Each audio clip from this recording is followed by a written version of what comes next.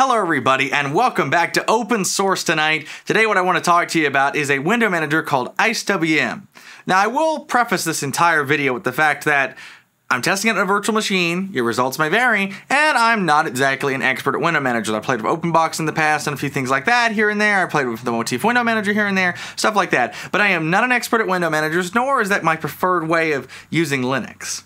So for a primer, people that don't know, a window manager, I did a recent video on this, but just so you don't have to go watch that whole video, you should still do it anyway, but just so you don't have to, a window manager can be either a component of a desktop or it can be its own standalone thing completely.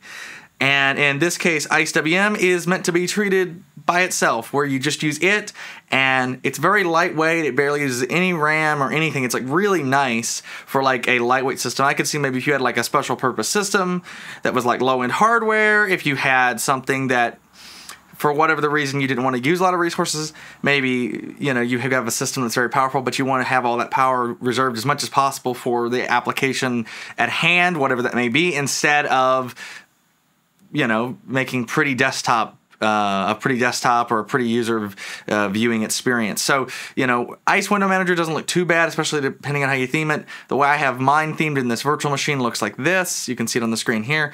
I don't think it looks too bad, honestly, but keep in mind that is the way I have it themed. It's not the default. And the default looks something more like this.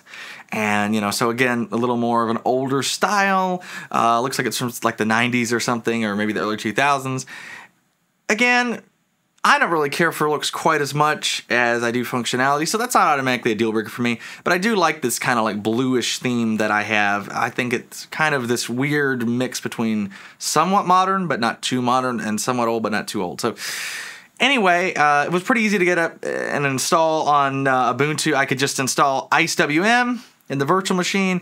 I have not tried it on Rocky Linux or something like that or Arch, but I assume it's probably in a lot of the repos for those distributions as well, and you can just simply, I would say, Google it, but you know what I mean. You know, search for it and install it. You know, using your package manager.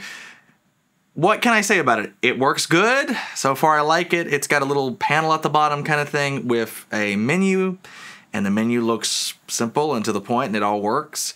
Um, really can't say much bad about it. it. You know, one thing I did say that I will say is. Um, there is a part of the menu, it's like a settings thing or something, I forget exactly what it was now, but I kept accidentally clicking it when I was trying to click something else.